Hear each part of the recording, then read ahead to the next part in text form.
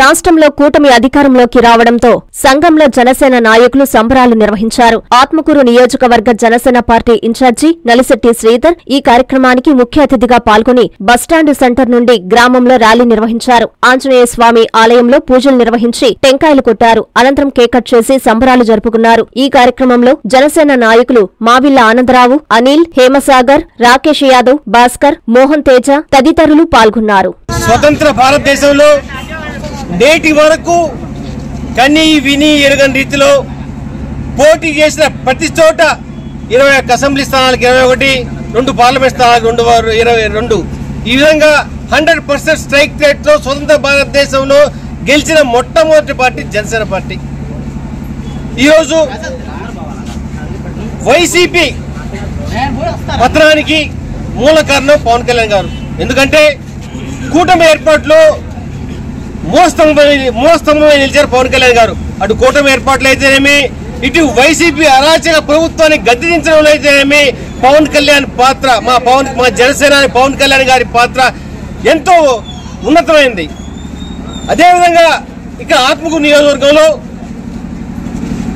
కూటమి అభ్యర్థి రామనారాయణ గారు ఏడు వేల చిల్లర మెజార్టీ గెలిచారు.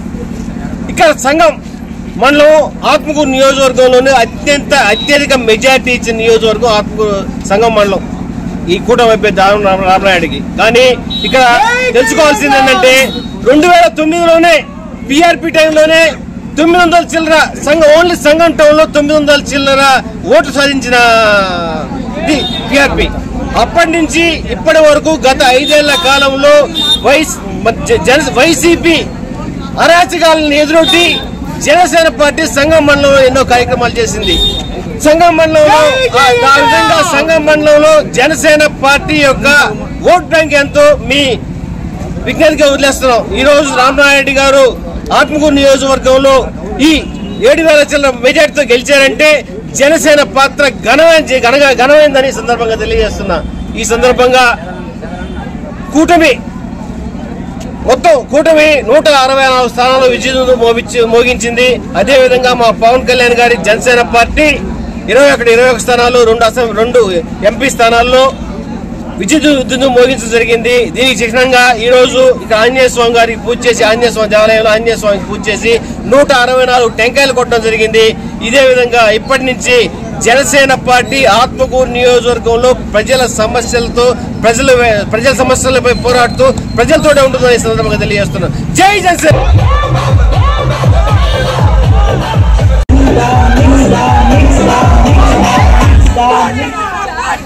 Yeah.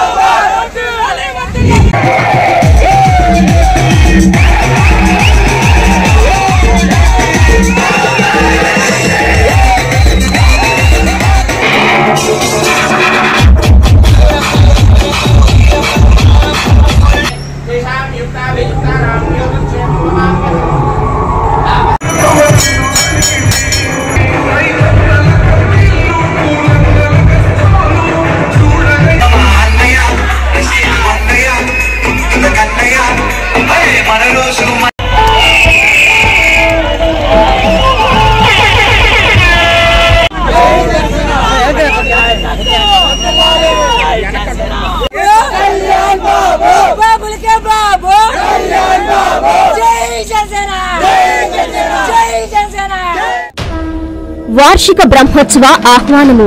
నెల్లూరు జిల్లా బుచ్చిరెడ్డిపాలెం మండలం జొన్నవాడ క్షేత్రంలో వెలసి ఉన్న శ్రీ మల్లికార్జున స్వామి కామాక్షితాయి దేవస్థానం వార్షిక బ్రహ్మోత్సవ ఆహ్వానం. రెండు వేల ఇరవై నాలుగు మే ఇరవై ఎనిమిదో తేదీ నుంచి జూన్ ఏడో తేదీ వరకు బ్రహ్మోత్సవాలు జరుగును. ఈ నెల ఇరవై ఎనిమిదో తేదీ రాత్రి ఎనిమిది గంటలకు అంకురార్పణ. జూన్ మూడవ తేదీ రాత్రి పదకొండు గంటలకు రావణ సేవా ఉత్సవము. నాలుగవ తేదీ రాత్రి ఎనిమిది గంటలకు వెండి నంది సేవా ఉత్సవము.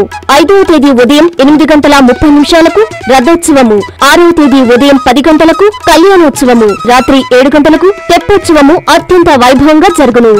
కావున భక్తులెల్లరూ విచ్చేసి స్వామి అమ్మవార్లను దర్శించి కృపా కటాక్షాలకు పాత్రలు కాగలరని కోరుచున్నాము. ఇట్లు విరుపవార్జుల గిరికృష్ణ సహాయ కమిషనర్ మరియు కార్యనిర్వహణాధికారి.